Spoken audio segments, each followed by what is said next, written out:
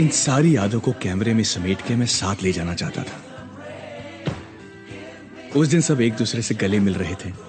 Emotional होके वादे कर रहे थे कि टच में रहेंगे। साल में एक बार ज़रूर मिलेंगे।